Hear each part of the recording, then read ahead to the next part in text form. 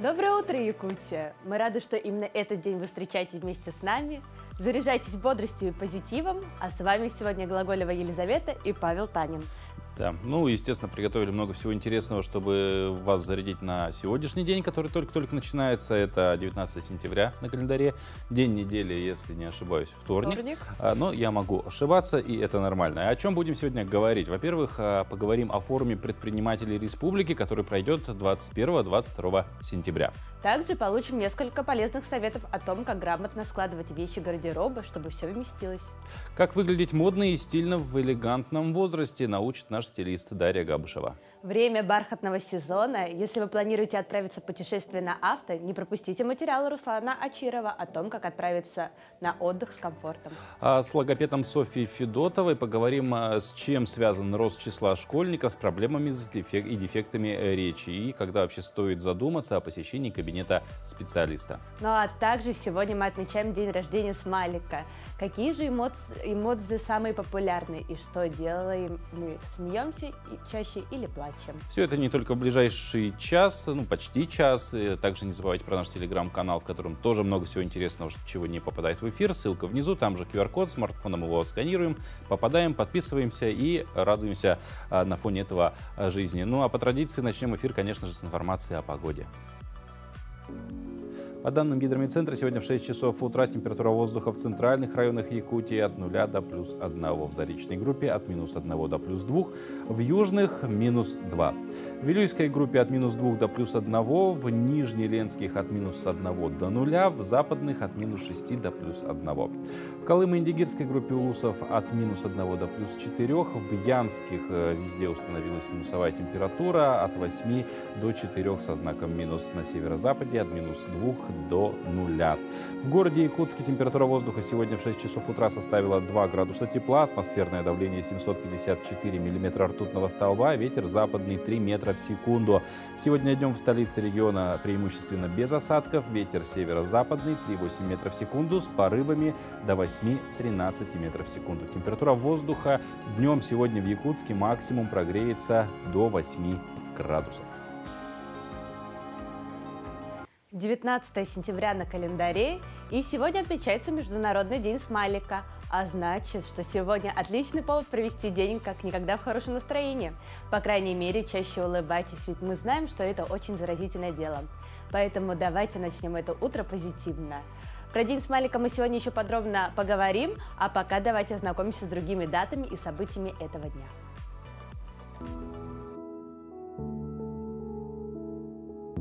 На календаре 19 сентября. В этот день отмечают День оружейника в России и день рождения Смайлика. По народному календарю Михайлов день. В этот день обращали внимание на погоду. Начинались первые морозы. «Михаил заморозком прихватил», — говорили люди.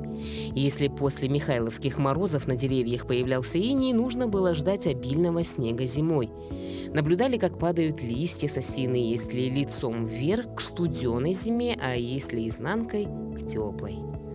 Это день в истории – в 1648 году французский ученый Блес Паскаль доказал существование атмосферного давления.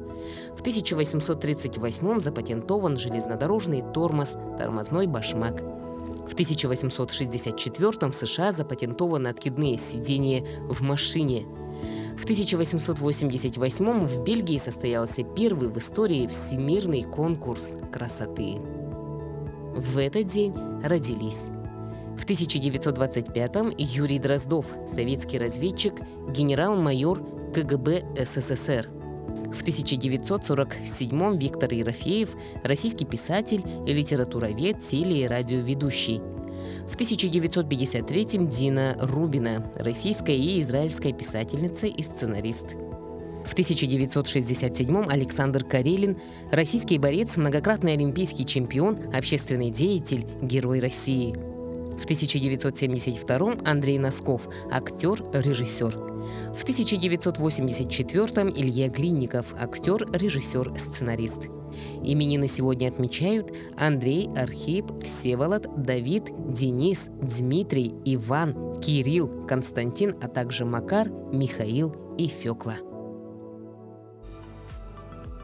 Ежегодно, каждое четвертое воскресенье сентября предприниматели отмечают свой профессиональный праздник – День предпринимателя Республики Саха-Якутия. В Якутске 21-22 сентября состоится главное бизнес-событие, приуроченное празднику. Это форум предпринимателей Якутии «Мой бизнес». О том, а, какие мероприятия пройдут в рамках форума и почему стоит их посетить, нам расскажут гости студии. Первый заместитель министра предпринимательства, торговли и туризма Якутии Максим Геннадьевич Карбушев и председатель Ассоциации предпринимателей Якутии «Сделано в Якутии», генеральный директор компании «Камелек» Ольга Григорьевна Григорьева. Доброе утро. Доброе утро. Доброе, Доброе утро. утро. Ну, э, Максим Геннадьевич, первый вопрос. Э, конечно, форум два дня он будет идти, само собой обширная программа. Можете рассказать, что ожидает тех, кто этот форум посетит? Это действительно самое грандиозное мероприятие, самое важное мероприятие для всех предпринимателей Якутии.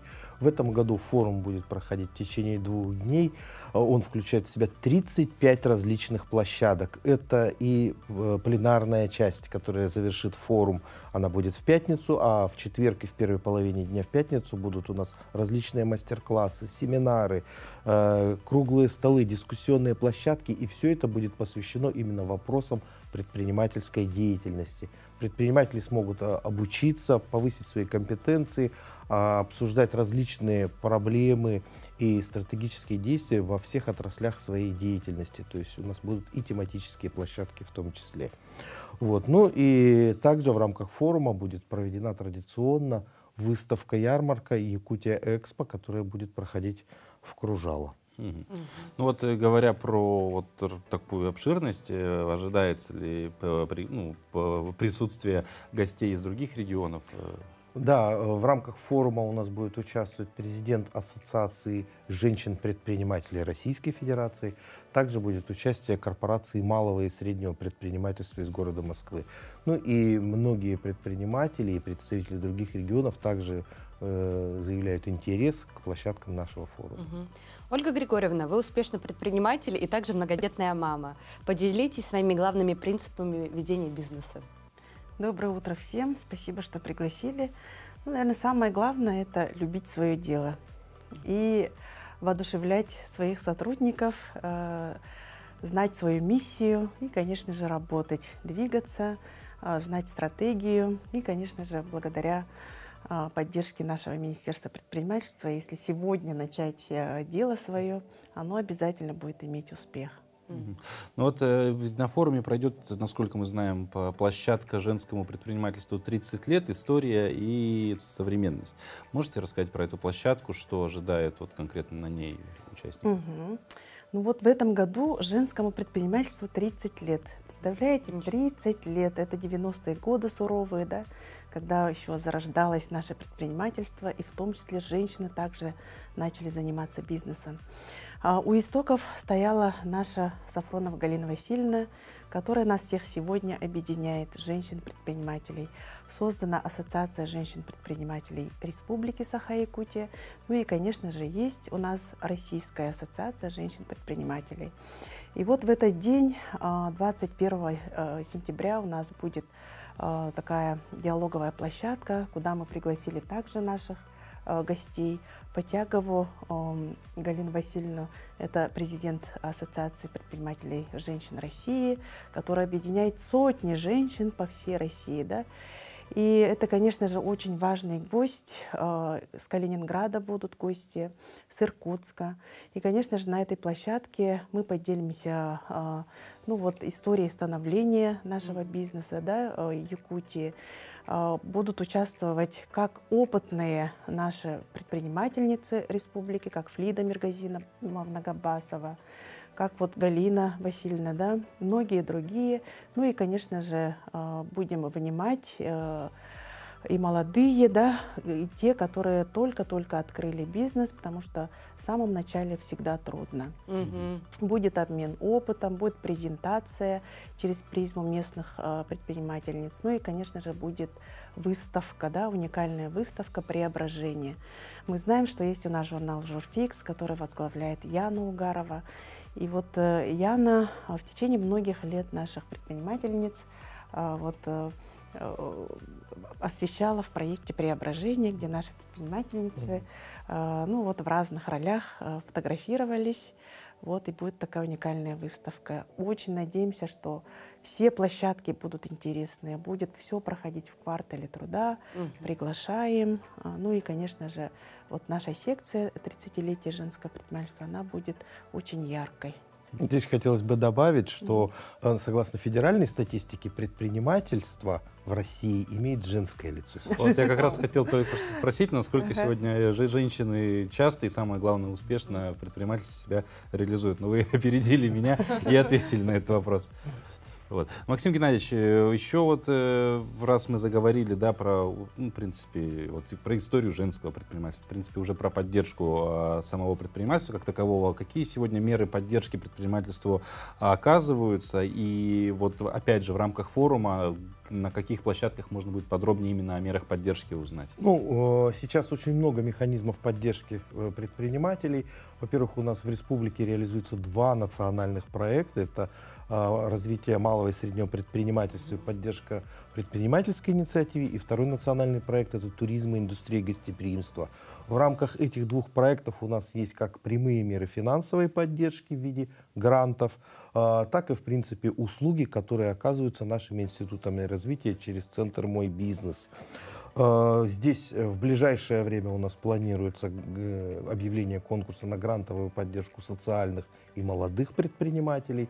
У нас буквально на днях завершилась а, конкурсные процедуры по приему заявок на развитие туристской инфраструктуры. И а, очень активно предприниматели пользуются услугами центра «Мой бизнес». Это услуги и по упаковке, по продвижению бизнес-проектов. То есть очень большой перечень различных услуг. Ну и ознакомиться со всеми мерами поддержки у нас можно на портале малого и среднего предпринимательства «Мой бизнес 14.рф». Также всегда можно воспользоваться услугами горячей линии для предпринимателей. Ее номер 8 800 100 ровно 5880. Ну и, конечно же, посетив э, любую из площадок э, форума предпринимателей нашей республики. Как я сказал, 35 площадок, все будут очень интересны. И, кроме того, э, в холле именно форума будет работать консультационная зона, где будут представлены все институты развития и где предприниматели, настоя... действующие, потенциальные, начинающие, любые предприниматели могут воспользоваться услугами этих институтов развития предпринимательства. Максим Геннадьевич, Ольга Григорьевна, спасибо, спасибо большое, большое, что пришли в нашу студию. Да, ну, форум даже не буду желать, я думаю, пройдет он на ура, и много-много посетителей и, самое главное, участников получат много полезной информации для своего развития. Ну, а мы прямо сейчас э, прервемся на короткую паузу, потом вернемся.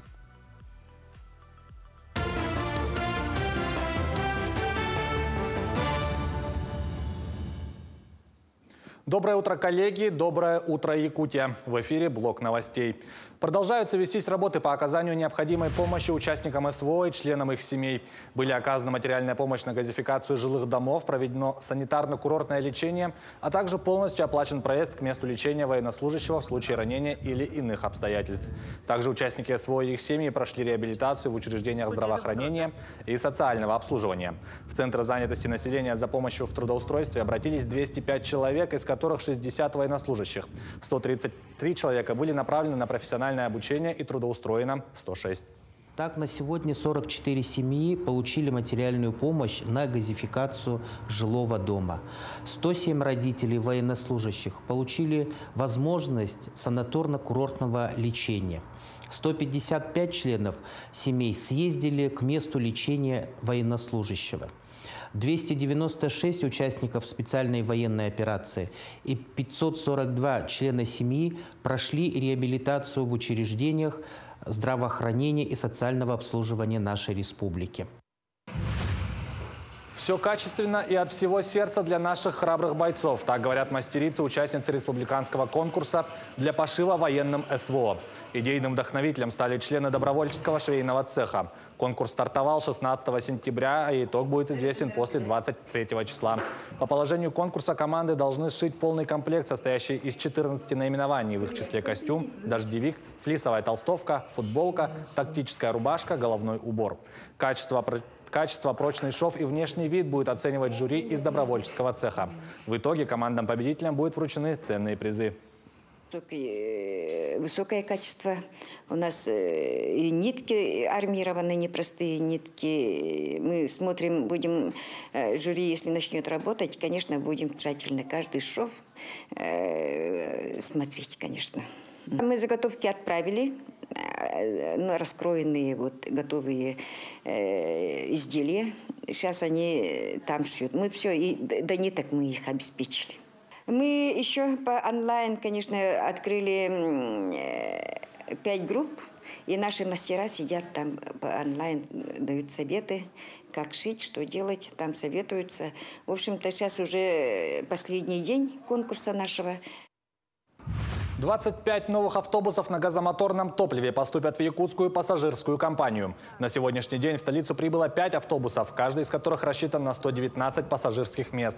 До конца сентября поступят еще 10 и столько же в январе 2024 года. Напомним, сейчас в Якутске и междугороднем сообщении действует 100 новых автобусов на газомоторном топливе, закупленных к столетию якутской автономии. Только за последние 8 месяцев они сэкономили 138 миллионов рублей. Кроме того, автобус и другая техника на газовом топливе на 50% освобождены от транспортного налога. Вслед за общественным транспортом на метан перейдут автомобили медучреждений Якутска и Почты России. Вместе с тем, к 2030 году в Якутии планируется построить до 40 новых газовых заправок. Мы обновили сейчас над линией 100% автопарк полностью. То есть э, ходят только новые автобусы. Вот. Э, поэтому то есть меньше поломок, меньше э, тратим на запчасти. Сейчас еще у нас гарантия не закончилась, то есть основные затраты несет э, завод-изготовитель. У нас мы заправляемся на заправке метаном по 22 рубля 30 копеек, то стоимость дистоплива 62 рубля, там средняя вот и вся разница. А если брать по расходу топлива, то есть это один к одному. То есть если бы стоял дизельный двигатель, расход бы топлива был бы такой же в эквиваленте, как и метан. В Якутии стартовала неделя трудовых династий. Она будет проходить с 18 по 24 сентября. В рамках праздничной недели в коллективах предприятий в муниципальных образованиях республики состоится чествование трудовых династий. Для членов династий, включенных в книгу почета, в эти дни будет организовано посещение культурных мероприятий по пригласительным билетам, постоянных и временных выставочных экспозиций с экскурсионным обслуживанием, спортивных объектов по выделенным абонементам. Также для них будут проведены такие мероприятия, как обслуживание на дому, приоритетная стационарное лечение, дни здоровья, проведение вакцинации старшего поколения. Кроме этого, состоится показ телевизионных передач о трудовых династиях Якутии, а в печатных изданиях и в сети интернет будут опубликованы тематические пресс-релизы, статьи и заметки.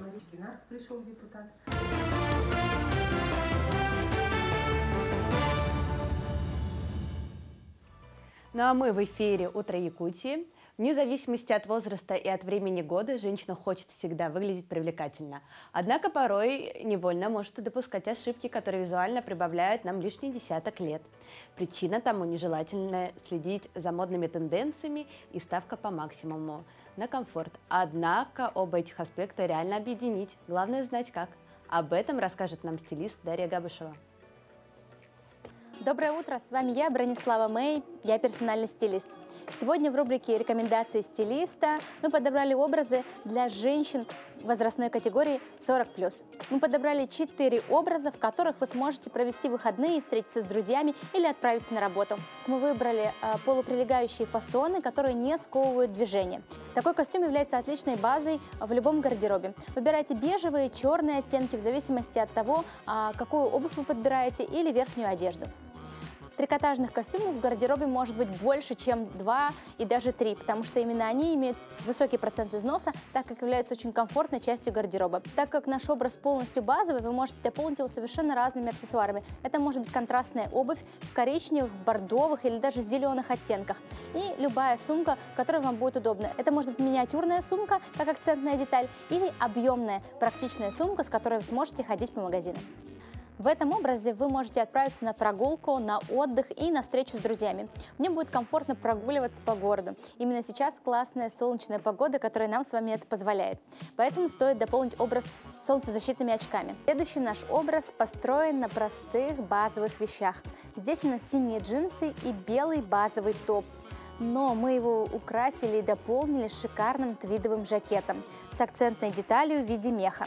Такие жакеты сейчас как никогда актуальны и носить их нужно в интересных сочетаниях. Также здесь мы подобрали э, берет для того, чтобы добавить акцентную деталь э, в визуальную зону и поддержать наш жакет.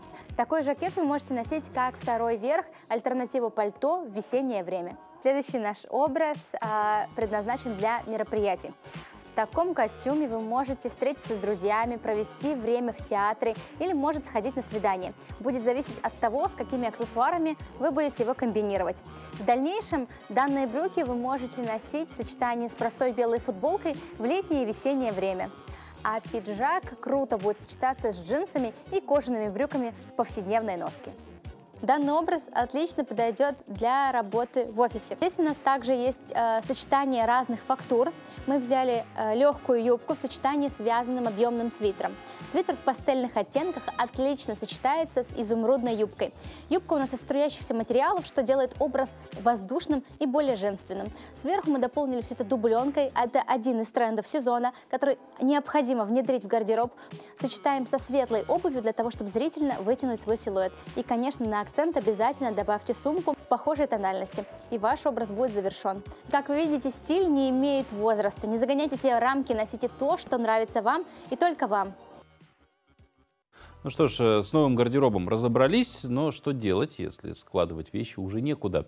Вроде и от старых вещей как-то избавляться и э, нужно, и вроде избавляемся даже от них, и летние вещи тоже отложили в далекий ящик. Скорее всего, проблема в неграмотном хранении. Существует несколько, кстати, простых способов, как компактно сложить вещи в шкафу, чтобы там был порядок. Наверняка вам знакома ситуация, когда кажется, что складывать вещи просто некуда. Заполнен весь шкаф. Возможно, что дело не в том, что вы давно не проводили ревизию, а в неправильном складывании своих вещей. Сегодня мы расскажем секреты, которые помогут вам с бардаком на полках.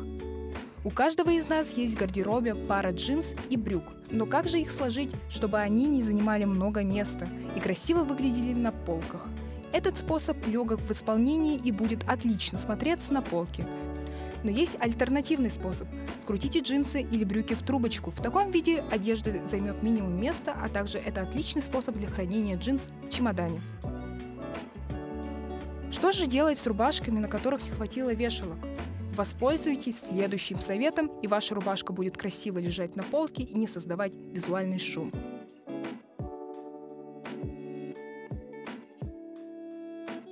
Попробуйте сложить футболки так. Благодаря этому стопки футболок будут выглядеть ровными и аккуратными, а футболка меньше мнется. Но если вы приверженцы вертикального хранения, то используйте следующую методику.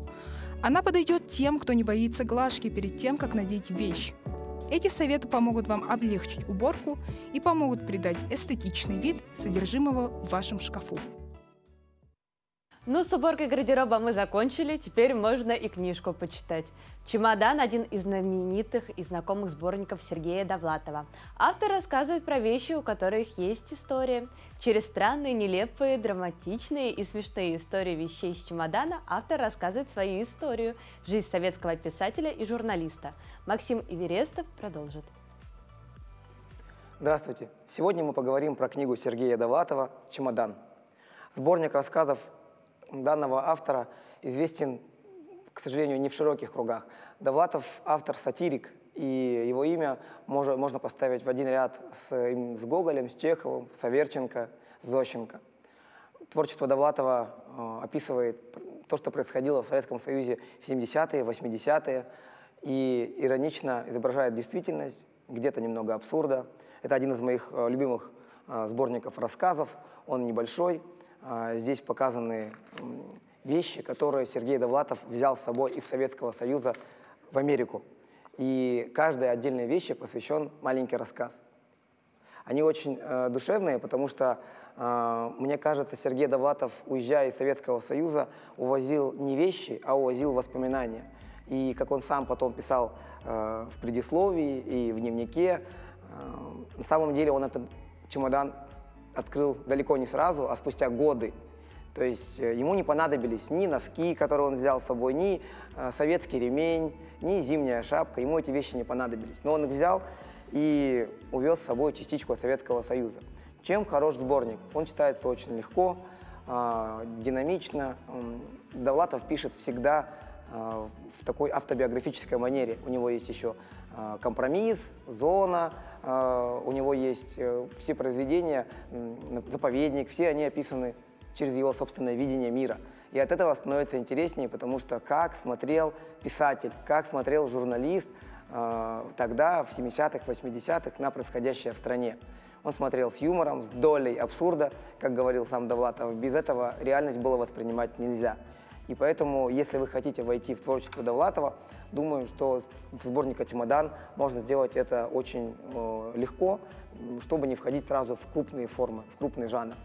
Э, Довлатова часто рекомендуют тем, кто э, любит юмор в литературе и, в принципе, обладает таким неким чутьем филолога, чутьем читающего человека, потому что у Довлатова юмор не грубый, да, он местами тонкий, как у Зощенко и Верченко, местами очень правдивый. Здесь есть плашка 18+, сейчас ее на многие книги вешают, но ничего я не вижу здесь не пошлого. Да, иногда маты, да, но это часть реальности, которая обходила, которая присутствовала в жизни Довлатова. Иногда какие-то могут быть драки, но опять-таки это часть нашего мира. Так что, если вам нужен юмор, если вам нужно почитать что-то и увидеть часть э, советской реальности, часть реальности, которая обходила Довлатова, сборник «Чемодан» я вам рекомендую, читайте, любите жизнь. Ну, а речь-то зеркало души, так говорил когда-то русский писатель Иван Тургенев. Но что делать, если зеркало искажено? Количество детей с дефектами речи растет в геометрической прогрессии. Согласно данным Всемирной организации здравоохранения, каждый двадцатый ребенок нуждается в помощи специалистов. С вопросом о том, почему ряд букв алфавита не поддается детям и когда стоит бить тревогу, мы обратились к логопеду Софье Федотовой. Софья, доброе утро. Доброе утро. Говорю про правильность речи. Да, и сам... Ну, специалист уже здесь, значит, все будет нормально. А, ну вот главный вопрос, ну не главный, первый вопрос. А, вообще, насколько часто родители приводят детей к вам, а, у которых присутствуют дефекты речи, и, может быть, есть какой-то вот усредненный возраст, когда обычно это происходит? Э, доброе утро всем. Меня зовут Федотова Софья. Я логопед практикующий. 9 лет работаю логопедом. И смотря по опыту, а по опыту, да, обращаются родители довольно уже часто. Раньше было пореже, сейчас очень часто. Например, это начинается где-то с трех лет, два с половиной, три годика начинают бить тревогу родители. Угу. А какие признаки в речи ребенка должны сигнализировать родителям о том, что пора записаться к логопеду? Угу.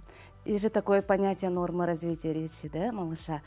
Когда идет вот задержка речи, когда э, у ребенка а, в три года должны быть простые предложения, фразы какие-то должен составлять, понимание речи должно быть, да. Если всего этого нету или совсем мало, отдельные слова или просто слоги может произносить три года, может даже обращенную речь не понимать ребенок, даже по общей моторике можно смотреть, да, и моторная неловкость, ходит на цыпочках, как-то падает, спотыкается, вот это вот все – говорит о том, что у ребенка идет задержка речи. Угу. Угу. И стоит обратиться где-то к трем годам. Угу. То есть, вот, казалось бы, да, не только через речь да, его, через а речь, вот... еще через движение. Конечно, через общая моторика очень большое угу. значение имеет. Ну вот а, вообще в целом, да, вот почему некоторые да, дети самостоятельно формируют э, правильное произношение звуков, другим все-таки требуется помощь? Это, как правило, с чем обычно связано все-таки? Да, есть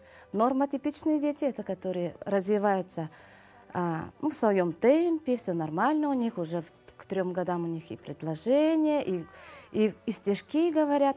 А у некоторых детей, вот родители говорят, вот мой ребенок начал говорить и остановился, да, вот что-то произошло. Сейчас очень много причин. Это может быть и беременность, да, как протекала, роды, также какие-то заболевания, вдруг серьезно чем-то заболел, да, ребенок в больницу попал, или какой-то испытал стресс, там, например, переезд какой-то, все это тоже имеет значение. Также, например, наркоз могут дети переносить, да, Все это сказывается на развитии речи малыша. Вот, кстати говоря, про развитие речи, да, вот э, интересный момент такой. А влияет ли на это как-то гаджет? Может быть, хорошо или плохо? Да. Потому что, с одной стороны, дети общаются меньше, они сидят с гаджетами, с другой стороны, они могут что-то смотреть, слушать и пытаться повторять сами. Да, вот когда идет активное развитие, должно быть активное развитие речи, да, мама что делает? Вру- Вручает ребенку телефон. Причин очень много, да, вдруг мама устала или что-то там, думает, что это красочно, красиво, ярко, но на самом деле живое общение намного больше имеет значение, да. А вот до, до какого возраста можно исправить дефект речи? Мгм. Ну, В целом до 7 лет вот обращаются, э, если просто звуки ставить, да, ну, 5 лет в среднем, 5-7, можно ставить, исправлять как-то. Но если ребенок пришел в 5 лет и не говорящий, то, конечно, тут уже все специ... многие специалисты уже нужны. Не только логопед, но и невролог, и нейро- нейропсихолог, может даже авотерапевт нужен, да. Все, ну, в общем, надо... Комплекс. Комплекс, может, к сурдопедагогу. В общем, специалисты даже узкие нужны, нейропсихологи, например. Ну а если взрослый человек приходит, и он там шепелявит или картавит, это как-то можно исправить ис- в- уже в таком взрослом возрасте? Мгм. Говорят же, когда в детстве все быстрее впитывается, дети как губка, они более пластичные. Вот как можно сравнить с пластилином, да? Мгм. Затве- А взрослый, он уже со своими э, взглядами уже такой... Обожженная глина такая. Да, прямо он такой м, тяжело поддается. М, То есть при большом желании взрослого, конечно, можно исправить.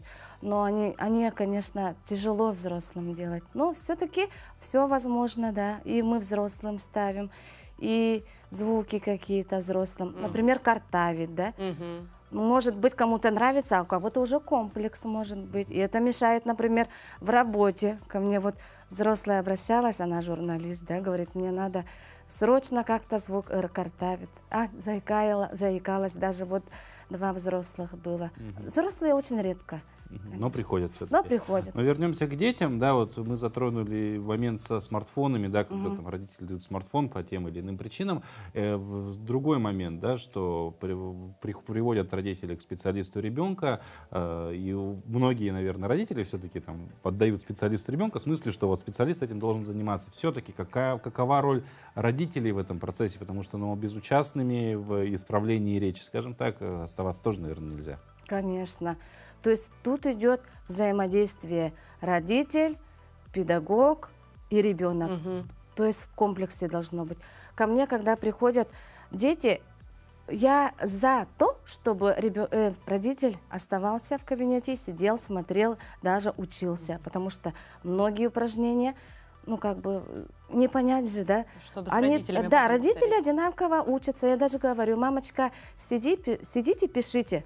Прямо записывают. А ну а как иначе? И домашнее задание обязательно надо выполнять.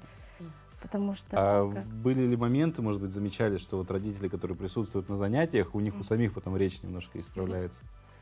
Да, есть такое. Приходят с, братья, с братьями, сестрами или родители, да, говорит мамочка, я сама, ну там, учусь у вас. Мгм. Есть Это такое. прекрасно. Но мы же знаем, что дети, они полностью копируют родителей, да, в движениях, в танцах, ну и также в культуре речи. А, скажите, какое неправильное произношение родителей на речь ребенка и какова роль культуры речи в семье должна быть? Тут уже родитель, а, он живет с ребенком, и он как бы подражает, подражает же ребенок а, всему, даже, даже речь особенно. То есть ребенком не надо сюсюкаться, да, или повторять его неправильный звук, то есть у него возникнет стойкое, должно быть, ой, оказывается так, нормально. И когда смеются над ним, тоже, да, думает, это нормально, это значит весело. Значит, я могу дальше неправильно говорить. Ага. Тут уже надо обращаться, конечно, вовремя к специалисту. Ну и завершая нашу беседу, все-таки, да, по- по- подведем такую черту, может быть, все-таки в чем сегодня главная, наверное, основная проблема неговорящих детей сегодня, то есть основные все-таки причины в чем? Причин очень много. Это и экология, и питание. Также я не сказала же, да, дети нынешние, у них артикуляционный аппарат совсем плохо развит. То есть для этого нужны профилактические ме- мероприятия, делать артикуляционную гимнастику. Также очень важно для правильной речи а, и произнесения звуков а, сильная воздушная струя, то есть на дыхание работать. Ну, там, например, дуть через трубочку, Гимнастика, да? шарики, Дыхательная гимнастика, дыхательная гимнастика, да, э, через музыкальные инструменты. Так, например, вот такие вот профилактические мероприятия. Также общую моторику укреплять. Сейчас же дети какие, ну, грубо говоря, тепличные, да? Вот мы закрыли их в четырех стенах.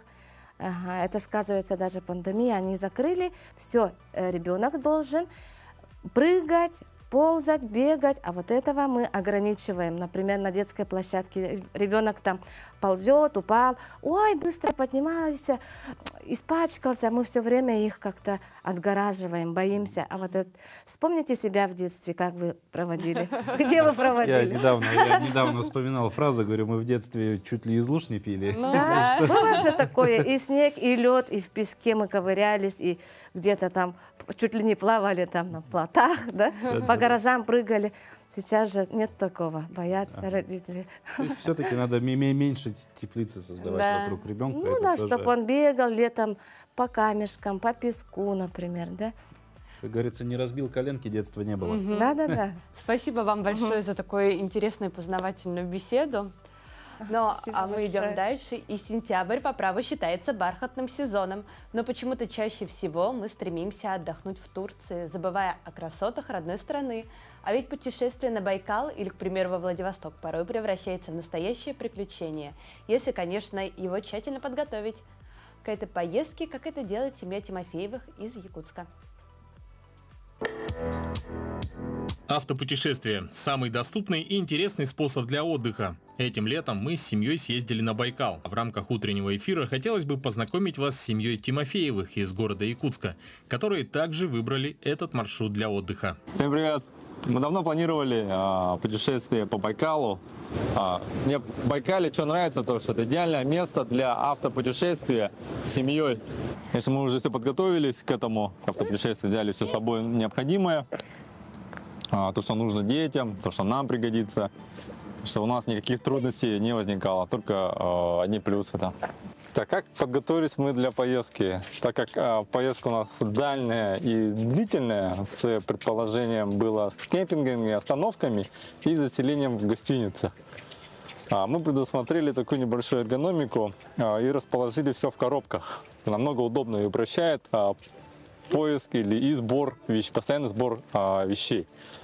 Здесь, допустим, у нас расположились продукты, да, то есть все консервы, там коробки еды и так далее. Здесь, в этой коробке у нас кемпинговая, а, т- кастрюли, газовые баллоны, кружки, ложки, ножи, ну и часть, э, там чай, кофе тоже здесь и расположилась.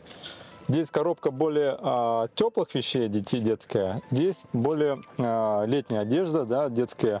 Верхняя часть я использовал, закрепляю с помощью вот этих стяжек, чтобы во время дороги они не болтались. Как видите, все конкретно а, держится и в, в поездке у нас, у нас ничего не мешает. Они привязаны к подлокотнику, ну? Да, Э, они по под- подголовнику. подголовнику привязаны, да, вокруг. И это и с- ничего у нас во время поездки не люфтит. 8 часов э, дети находятся в салоне, и поэтому мы э, максимально э, комфорт им обеспечили благодаря различным, наверное, э, диковинным, да, штучкам. Ну, допустим, шторки. Ну, если сильно солнце мешает, они могут как бы закрыться самостоятельно. Также и закрыть. Для воды тут, и они иногда тут игрушки свои игрушки могут положить в эти да, кармашки, чтобы что-то такое вот. Допустим, здесь мы планшеты ложим, телевизор мелкий, да, можно сюда положить. Здесь крепление для смартфонов, они мультик смотрят. Вот у Ксаны есть а, петелька такая хорошенькая, где ну, одежду э, могут сюда вот положить, повесить. А видите, мы под ногами положили наши вещи, да? Это чтобы э, им не было ну, долго ноги не висели. В таком положении это городская как бы езда, а в длительные пути э, полностью наклоняется. Это помогает, ну как бы разгружает, то есть детей с поясницы или шея не затекает, и они во время поездки хорошо лежат, спят. Также у нас одеяло есть, да, они могут ну, открыть. Вешалка, вот все у него в таком же варианте. Ну и чемодан мы это для чемодан, а, там наши личные вещи, а, которые нужны для заселения в гостиницу. Смен- Мумерыми сменные. Ты же в гостиницу приехал, взял чемодан, Да. и все там внутри. Да, да, то есть сразу выехал, не надо там коробку там поднимать, только, ну ты уже весь. А в оранжевой там в передней сумке, в оранжевой там уже кемпинговая теплая одежда. Как бы только мы достаем, когда именно в палатке располагаемся. Ну и, соответственно, автобокс там, ну, открывать не будем. Автобоксы, там, палатки, а, столы, стулья, спальники и карематы. Все расположилось, а, ничего не мешает.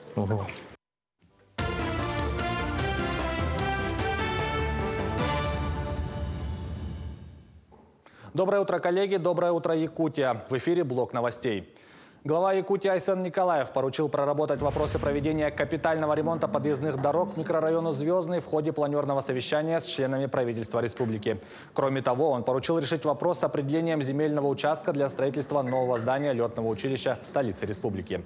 Также были рассмотрены вопросы завершения строительных работ в регионе, также реализация нацпроектов, инициированных президентом России Владимиром Путиным. В Якутске маршрутные автобусы по проспекту Ленина начнут ездить с ноября. До конца октября должен быть завершен капремонт центральной улицы города. Об этом сообщил директор МКУ главстрой Алексей Варламов. По его словам, до этого должно быть закончено наружное освещение, регулировка светофоров, а также установка автобусных павильонов. В данное время идет установка шкафов управления наружного освещения. Опорные пункты Якутии в ДНР доставили в подразделение, где служат военнослужащие из республики, более 50 квадроциклов «Сокол». Все вездеходы приняты на вооружение и включены в боевую работу. Продолжается активная поставка дополнительной экипировки, обуви и обмундирования. Об этом сообщил представитель опорного пункта Якутии в ДНР. Он также добавил, что в пункты временных дислокаций военных частей будут завезены печи длительного горения производства Якутского котлового завода. Экипировка по условиям наступающего осеннего сезона. Рыбакам-любителям запретят использовать сети для ловли в Якутске. Использование сетных орудий добычи запретят с 20 сентября по 20 октября в период нереста рыб. Об этом сообщает окружная администрация Якутска со ссылкой на Восточно-Сибирское территориальное управление Росрыболовства. Нарушители правил рыболовства могут быть привлечены к административной или уголовной ответственности. Программа «Земский доктор» действует в стране с 2012 года. Она позволяет врачам при переезде в сельскую местность получить до 2 миллионов рублей, фельдшерам до 1 миллиона. При этом денежные средства медики могут потратить по собственному усмотрению. Единственное условие – специалист должен отработать в селе 5 лет. На территории республики за это время по программе привлечено более тысячи специалистов. С периода с 2012 года у нас э, по программе привлечено на работу 1083 врача и 147 фельдшеров. Из них э, на работу прибыло в арктическую зону 233 врача и 40 фельдшеров. В этом году мы запланировали прибытие 149 специалистов, из них это 122 врача и 27 фельдшеров. Также с 2022 года участники программы имеют право летать из Якутска до населенных пунктов арктической зоны и обратно по субсидированным билетам. В Якутске откроется бесплатная школа программирования от Сбера «Школа 21», где каждый желающий старше 18 лет может получить востребованное образование в сфере IT. Сейчас в трехэтажном здании площадью 1900 квадратных метров, которое находится на улице Аюнского, проводится ремонт. По завершению реконструкции здесь появится 198 рабочих мест для учащихся. Помимо этого завершается заявочная кампания. Всего принято около 3000 заявок от желающих. Из них отобрали более 400. Главная особенность школы – это методика обучения равный равному. То есть участники работают над IT-проектами индивидуально или в команде без менторов, лекций и оценок. 23 октября стартует первый отборочный интенсив, а, следом за ним пройдет второй отборочный интенсив. После этого а, ребята, прошедшие это- этот отбор, э, выйдут уже на основное обучение. Основное обучение стартует у нас в начале следующего года. Высокопрофессиональные разработчики будут выходить из нашей школы, а, и на рынке Якутии это очень востребованная профессия, у нас нехватка разработчиков. И, конечно же, да, мы надеемся вот эту нишу своими выпускниками заполнить. Якутская кинокартина «Схватка» якутского режиссера Никандра Федорова получила приз прессы Международного кинофестиваля «Киношок». Кинофестиваль прошел в Анапе. Председателем жюри выступил заслуженный режиссер Алексей Федорченко, сообщает кинокритик Сергей Кулешов. Фильм «Схватка» повествует о знаменитом якутском борце Вячеславе Карпове, некогда ставшем чемпионом СССР, а затем столкнувшегося с падением. Лишь ощупав дно пятками, он умудрится вернуться в спорт, но уже в неожиданной роли. Карпов выполнил норматив кандидата в мастера спорта по шашкам и взял на себя роль наставника первого советского гроссмейстера Александра Азарова. К этому часу это все новости. До встречи в эфире.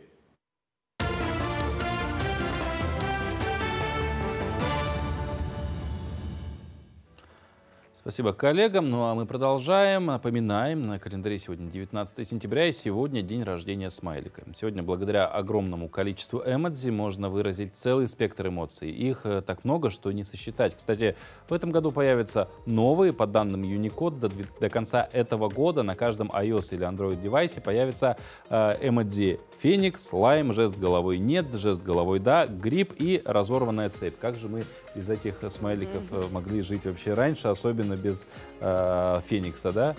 Вот. И, и гриб, да, вот еще тоже, как, как вот. Ты представляла раньше свою жизнь без гриба? Эмоции ну а гриба? если кто-то пойдет по грибы собирать? Вот, и здесь мы натыкаемся на другой момент, что, а, кстати, да, сегодня эмодзи, спектр эмодзи такой большой, что можно, мне кажется, предложения целые составлять, не уже общаться просто картинками. картинками и мы да. вспоминаем, что наскальные рисунки, и натыкаемся на вывод, что, возможно, где-то наше развитие человечества развернулось на 180 градусов. Но это все догадки. Вообще в целом появятся еще а, черно-серые силуэты с обозначением семьи а, с разным составом. Мы их тоже на картинках видели. А, кроме новых добавят еще разновидности старых эмодзи. Например, э, вариант с бегунами, незрячими людьми и людьми на колясках, которые повернуты в правую сторону. Сейчас существуют э, те же эмодзи, только они влево почему-то бегут, едут, э, идут и так далее. Вот. Примерно вообще ожидается, что через 2-3 месяца Apple и Google внедрят все вышеперечисленные эмодзи в свои операционные системы на смартфонах, а смайлики также появятся в штатных клавиатурах. Ну а тем временем в сети выяснили, какой смайлик люди отправляют чаще всего. Оказывается, люди смеются реже, чем плачут. Компания FaceMoji узнала, без какого смайлика пользователи не смогут обойтись. Данные собраны в период с января по июнь 2023 года. Результат сильно удивил. В 2022 году пользователи чаще всего использовали лицо со слезами радости. Но согласно данным исследованиям, в 2023 году люди стали чаще всего не смеяться, а плакать, то есть использовать эмодзи громко плачущего лица. Всего в топ вошли 20 смайликов. Выходит, что громко плачущее лицо – это самый популярный эмодзи в мире на данный момент – Среди классических смайликов в рейтинге есть и необычные, например, каменное лицо или флаг Аргентины. Последний, кстати, использовали особенно части, часто, так как Аргентина одержала победу в чемпионате мира по футболу в 2022 году. Интересно, Паша, а какие ты чаще всего Я... смайлики, эмодзи используешь? Я сейчас открою свою наскальную живопись и узнаем, э, что же, как там раньше было, пятерка лучших. Ну, я в целом человек приветливый и радостный, потому что у меня вот плачущее, смеющееся лицо, вот это, а, чуть-чуть попроще плачущее, такое, вот, э, окей, привет и класс. Вот это пятерка моих э, чаще всего используемых э, эмодзи на смартфоне. Но, видимо, если анализировать мои, то я очень сильно любвеобильный человек, и, видимо, Все я в очень... сердечках разных Все в сердечках, и очень Зеленое, люблю... красное, розовое. И очень люблю праздники, потому что везде у меня хлопушки разные. Может быть, просто последний месяц было много людей, у кого был день рождения, и поздравления же сейчас все в основном пишут с хлопушками, ну, добавляют эмодзи хлопушек и так далее. Может быть, было много праздников праздников и было кого поздравлять. Это тоже неплохо, значит, праздная жизнь, это тоже иногда хорошо. А, вот, но в целом а, вообще как бы э, решили узнать сегодня в день смайлика, а, какие кто из наших коллег, какие также эмодзи предпочитает чаще всего использовать. Получилось, кстати, весело. Давайте посмотрим вместе. Символом Всемирного дня улыбки стал ярко-желтый смайлик, который в 1963 году придумал американский иллюстратор Харви Белл, выполняя заказ на оформление креативной визитной карточки одной из компаний. Художник сразу же предложил свою разработку, за которую, собственно, и получил от заказчика гонорар 50 долларов. Компания быстро изготовила бейджики с логотипом и раздала их своим сотрудникам. Успех был грандиозным. Месяц спустя смешные рожицы красовались не только на визитках и бейджах компании, а повсеместно. Впоследствии даже выпустили почтовую марку со смайликом. В одном из интервью художник отметил, что очень счастлив, ведь в мире не было ничего сделанного так просто, быстро, но стало приятным для всех. Мы решили поинтересоваться у наших коллег, какой же смайл они используют чаще всего в своей повседневной жизни. Джулус, привет! Привет. Какой смайлик ты используешь чаще всего? Смайлик, который улыбается. Я сейчас покажу. Вот такой. Можно крупником брать. Вот это, да? Да. Так, а можешь его изобразить? Привет, отвлеку немножечко. А Какой смайлик ты используешь чаще всего в своем телефоне? А, Я использую чаще всего смайлик вот такой. Покажи. Какой? Вот такой. Да. Ну, где ты думаешь, типа, Ну, изобрази.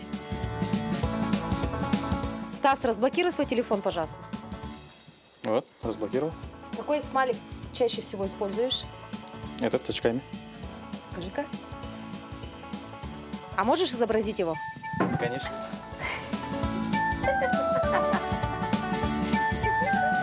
Ирида, какой смайлик ты используешь чаще всего у себя в гаджете?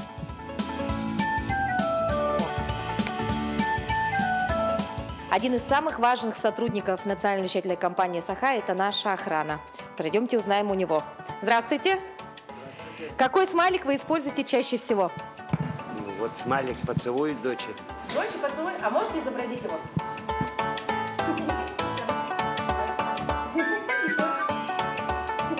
Видите, у меня практически везде они. Надо мной все время все смеются. Что у тебя, говорит, смех со слезами все время? Я говорю, ну потому что если очень смешно, то вот до слез. А можешь изобразить этот смех?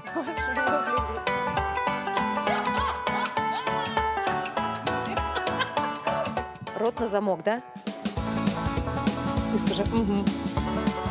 Коллеги из новостного отдела очень улыбчивые люди. Надеюсь, мы им не помешаем. У нас достаточно серьезная работа, но тем не менее мы очень любим пошутить. Ну, я использую вот такой вот смайл.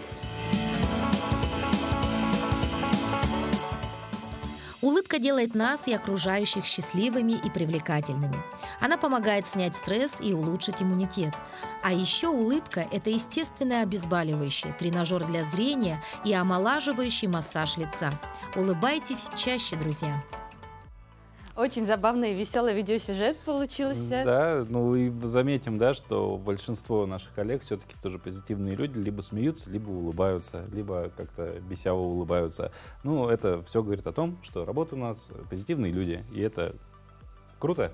И, конечно, давайте же все сегодня отпразднуем этот праздник. Выходите на улицы Улыбайтесь. и улыбайтесь друг другу.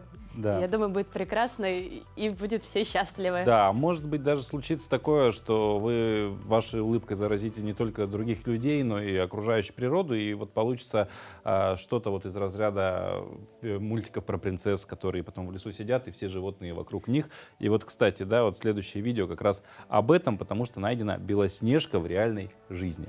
А, Она, итальянка, приходит в парк, ее радостно приветствуют все обитатели, от попугаев до белочек, и девушка может часами сидеть на лавочке,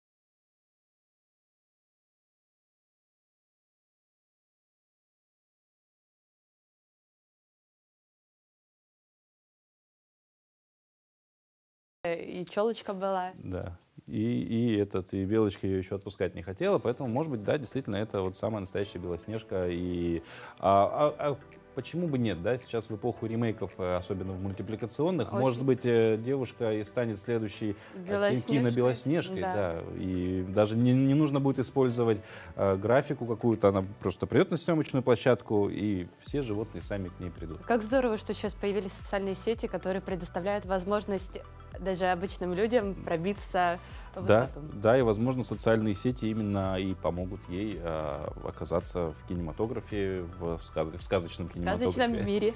Да, да, стать очередной э, принцессой одной э, кинокомпании не будем ее называть. А в целом, дорогие друзья, вот на такой позитивный, такой Э, улыбчивой, да, скажем так, ноте мы заканчиваем наш сегодняшний эфир. Он подходит к концу. А завтра мы вновь с вами увидимся. Завтра mm-hmm. нас много всего интересного ожидает и наши традиционные рубрики. Но предлагаю э, напоследок все-таки познакомиться еще раз для тех, кто пропустил, немножко поговорить о погоде. Все-таки что нас ждет за окном? Осень наступает, надо быть не готовым и одеваться по погоде. И, собственно, по данным гидромедцентра, сегодня в Якутске у нас температура воздуха в 6 часов утра составила 2 градуса тепла, атмосферное давление 754 миллиметра ртутного столба, ветер западный 3 метра в секунду, а сегодня днем в столице региона ожидается преимущественно без осадков, ветер северо-западный 3,8 метров в секунду, но могут быть порывы ветра до 8-13 метров в секунду. Температура воздуха днем в Якутске максимум прогреется до плюс 8 градусов. Но а нашим дорогим зрителям мы хотим пожелать плодотворного дня и также позитивного. Улыбайтесь, радуйте себя, свою семью и остальных. Всего доброго!